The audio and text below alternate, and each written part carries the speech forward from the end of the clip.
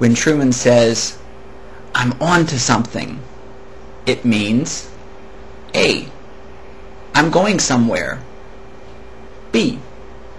I think I've found out something that's unbelievable. C.